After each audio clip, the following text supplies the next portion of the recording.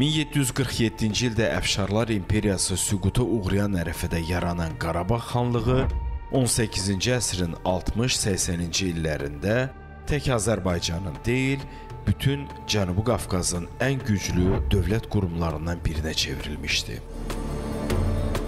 Qarabağ xanlığı onun yaradıcısı Pənahələ xanın sayəsində gücləndikcə yaşayış əraziləri də inkişaf eləyirdi. Qarabağın dilbər güşələrindən biri də 18-ci əsrdə Qarabağ xanlığının 19-cu əsrdə Gəncə quberniyasının Zəngəzur qəzasının tərkibində olan Laçın bölgəsi idi.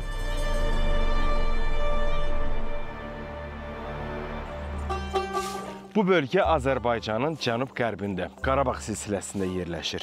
Kiçik Qafqaz dağları ilə əhatə olunan bu diyara qıraqdan baxanda quruluşuna görə amfiteatrı xatırladır. Onun çox gözəl təbiəti, zəngin tarixi və çox böyük turistik imkanları var. Bura Laçındır. Bugün vaxtı ilə Abdallar adlanan Laçını kəşf edəcəyik. Salam Laçın.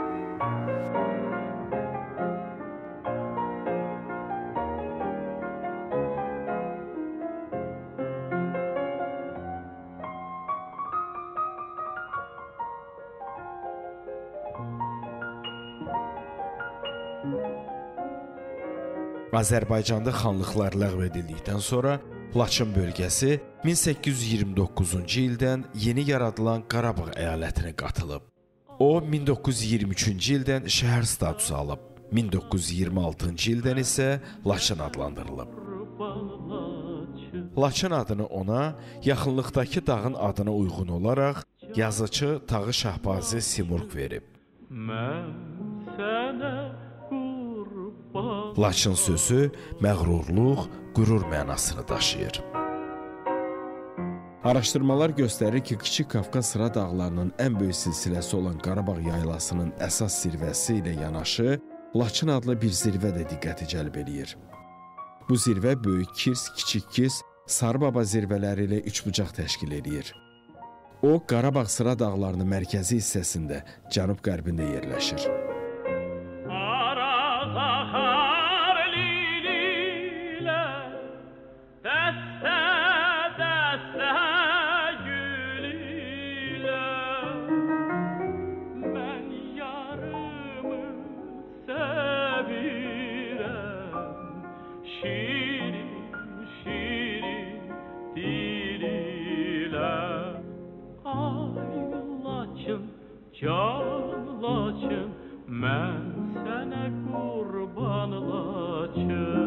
1930-cu ildə Laçın inzibati rayonu təşkil ediləndə Laçın şəhəri onun mərkəzinə çevrilib.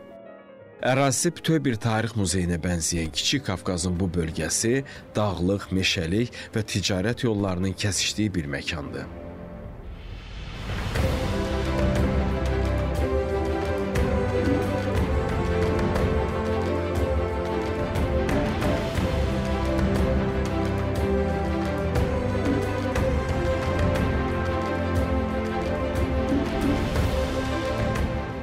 Bura Seyrəngah adlanan yerdir. Buradan siz Laçının bütün gözəlliklərini seyr edə bilərsiniz. Bir tərəfdə onu əhatə edən dağlar, digər tərəfdən isə Laçın şəhərinin özü. Laçına gələndə mütləq Seyrəngahdan onun seyrinə çıxın.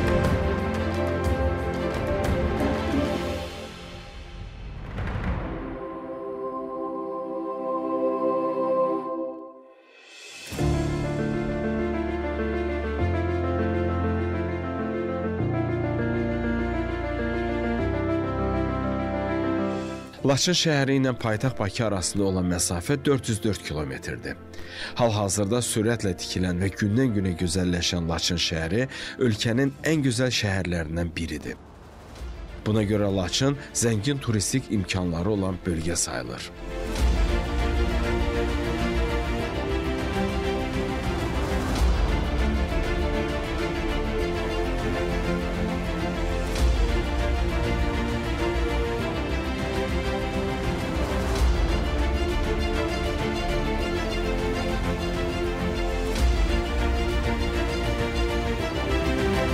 Laçın görkəmi ilə çox fərqlənir. Ona görə el arasında ona Azərbaycanın İsveçrəsi deyirlər. Burada olanda sən bunun şahidi olursan. Ümumiyyətlə Laçın fərqli şəhərdir. O tək ruhu deyil, həm də göz oxşayır.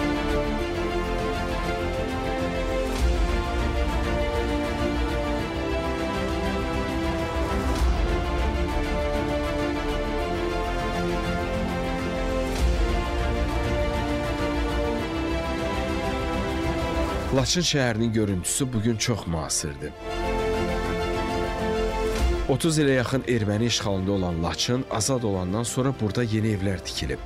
Bəziləri bərpa olunub. Parklar, istirahət məkanları yaradılıb. Yeni yollar çəkilib. Həkəri çayının ətrafında çox maraqlı bulvar salınıb. Körpülər qurulub. Laçın əvvəlki görkəmindən dizayn və yaraşığı ilə çox fərqlənir. Şəhəri gəzdikcə onun yeni görkəmindən zövq alırsan. Laçında olanda səfərinizin maraqlı və daha da yadda qalan eləmək üçün Hocas Film Yaradıcılıq Studiyasının çəkiliş pavilyonu ilə tanış olun. Pavilyonu gəzdikcə kino çəkilişlərinin kadr arxası aləminə səyahət eləmək çox maraqlı təəssürat yaradır. Adam özünü burada kino ulduzu kimi hiss eləyir.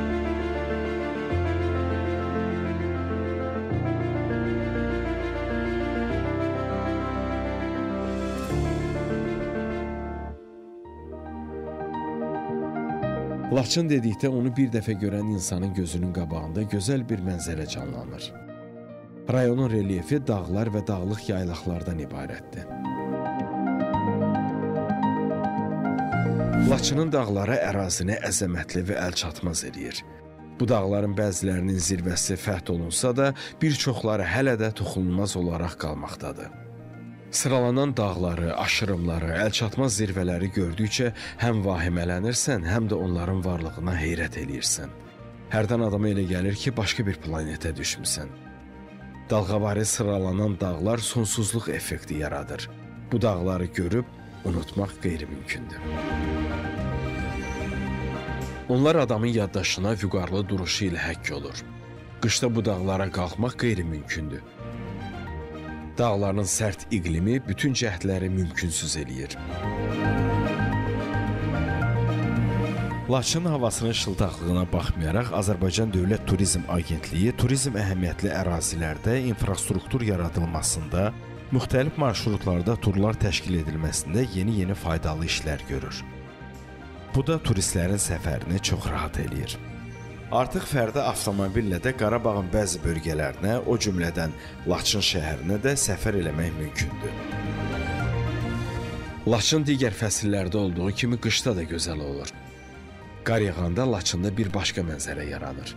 Bu mənzərəni görmək insanda xoş emosiyalar yaradır.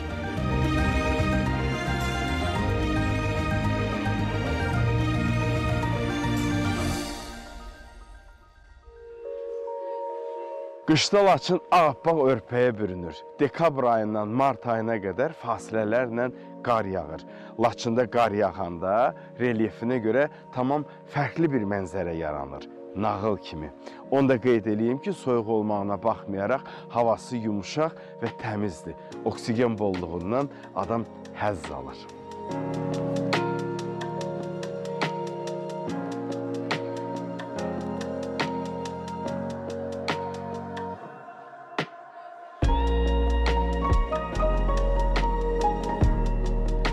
Laçında qış yumşaq keçsə də bəzən gecələr sərt şaxta ilə üzləşirsən. Amma bu sərtlik onun gözəlliyini seyr eləməyə mane olacaq qədər deyil. Laçının qardan nağılvarı mənzərəsini görmək eşqi bütün çətinlikləri qar kimi əridə bilir.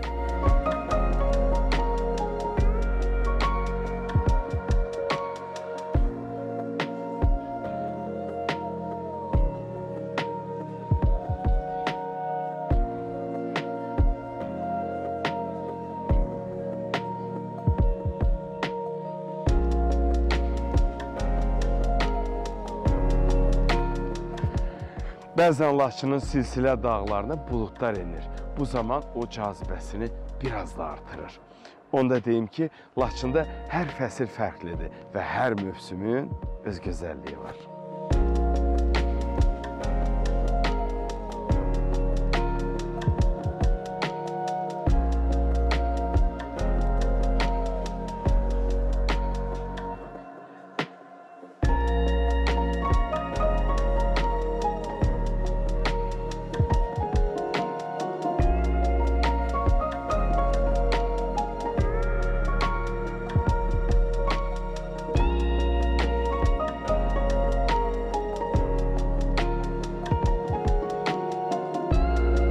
Laçının əsl üzünü görmək üçün onu əhatə edən dağlarını, şəlalələrini qışda da görmək lazımdır.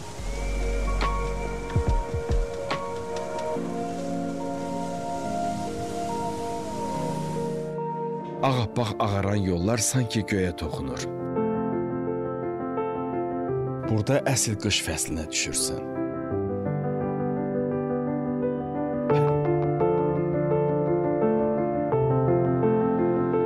Yayda yamyaşıl çəmənliklərə dönən bu yerlər qışda ağ örpəyə təslim olur.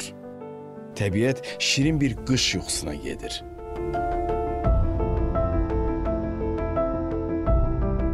Qar yağanda Laçın bütün gözəlliyini nümayiş elətdirir. Məhz qışda burada yerlə göy arasında sərhəd sanki itir.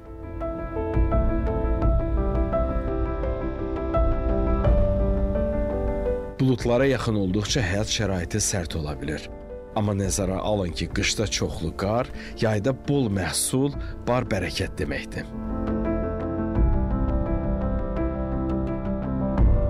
Laçın bol su ehtiyatlarına malik bir bölgədir. Onun çox keyfiyyətli su mənbələri var. Onların 20-dən çoxu müalicə əhəmiyyətli bulaqlardır.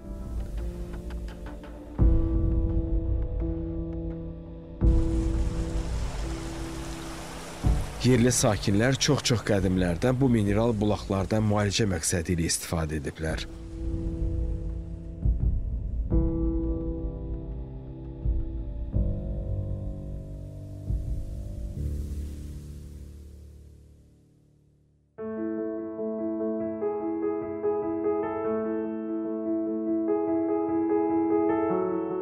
Rayonun ən gözəl təbiət hadisələrindən biri də Həkəri çayıdır. O Arazın sol qoludur. Laçın, Qubadlı və Zəngilan rayonlarının ərazisindən axır. Həkəri Qafqazın Azərbaycan daxilində Tərtər çayından sonra ikinci böyük çayıdır. Axımı qar, yağış və yeraltı sulardan əmələ gəlir. Ona görə qışda qarın bol olması burada həyat üçün xüsusilə vacibdir.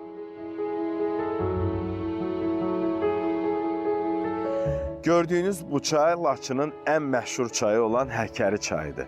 Uzunluğu 113 kilometrdir. Şəlvə və Minkənd çayları birləşərək onu yaradıb. Yol boyu isə digər çaylar ona birləşib, onun suyunu daha da zənginləşdirir.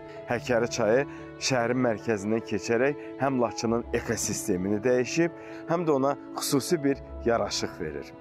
Təsadüfi deyil ki, Həkəri çayı Laçının vizit kartı sayılır.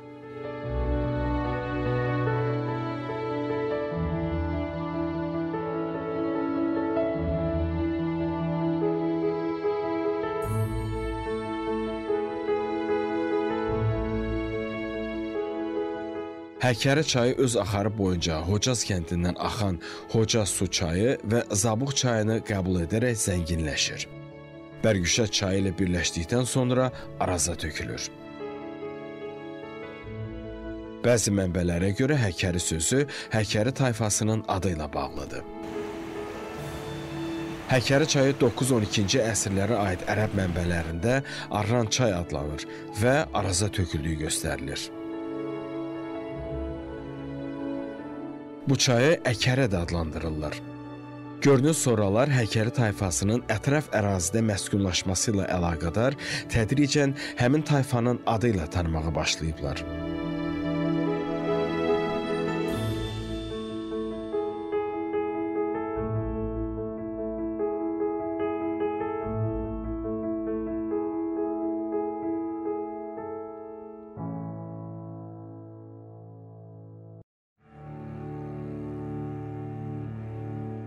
Laçın qoynunda bəslədiyi çoxlu sayda qədim abidələri ilə özünə olan marağı biraz da artırıb.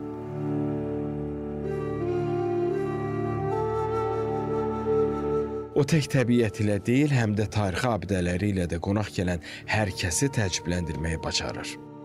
Bu abidələr onun nə qədər dəyərli bir bölgə olduğunun sübutudur. Laçındakı memarlıq abidələrinin əksəriyyəti Qafqaz Albaniyasının yadigarıdır. Laçında tarixi, mədəniyyət, memarlıq abidələri kifayət qədər çoxdur. Onların içərisində seçilənlər də var. Onlardan biri də Ağoğlan məbədidir. 5-6-cı əsrə aid Ağoğlan məbədi Alban monastırıdır. Əfsanəyə görə monastır kompleksi daha qədim politeist məbədinin yerində inşa edilib. Xristian inancına görə isə monastırda müqəddəs Georginin relikviyası saxlanılıb. Abidə inşa kitabəsinə malik deyil. Lakin memarlıq xüsusiyyətlərinə görə əsasən onun 3 inşaat mərhələsi keçdiyini demək olar. Kilsə ilkin mənbələrdə sadə düzbucaqlı formaya malik, absidasız bazilik olmuşdu. Müəyyən dövr keçəndən sonra Ağoğlan məbədi dağıntılara məruz qalır. Ona görə də 9-cu əsrdə onu yenidən kilsə üslubunda inşa eləyirlər. Qafqaz Albaniyasına aid olan bu məbəd bazilikadır. Yəni dini ayinlər üçün deyil, daha çox toplantılar üçün nəzərdə tutulub. Ağoğlan məbədi Alban dövrünün ən möhtəşəm abidələrindən sayılır. Abidə gözəl memarlığa malikdir. O xristianlıq dövrü Qafqaz memarlığı üçün xarakterik olan həndəsi naxışlarla bəzədilmiş nazik daş plitələrdən ibarətdir. Yan fasadlardakı nazik pəncərələr də İslamdan öncəki dövr Qafqaz memarlığında tez-tez rast gəlinən elementlərdən biridir. Ağoğlan məbədi Azərbaycan tarixinin önəmli irsidir. Ağoğlan məbədinin günbəzi xüsusi diqqətə layiqdir. O əzəmətli görünür və mənəvi ülviliyin simvolu kimi xidmət eləyir. İstər günbəzin əyri oxuna, istərsə də daş üzərində təsvirlərə baxanda belə qənaətə gəlirsən ki, burada hər bir detal sənətkarlığın və detallara diqqətin təzahürüdür. Ağoğlan məbədi haqqında çox əfsanələr var. Belə rəvayət eləyirlər ki, bu məbəd qəsri tikdirən səyyah ağbəniz, göy gözlü, yaraşıqlı insan olub. O yerli adam olmayıb, görünüşü ilə də çox seçilib. Yerli adamlar öz aralarında ona Ağoğlan deyiblər. Qəsrin sahibi Ağoğlan vəfat eləyəndən sonra məbədə onun adını veriblər.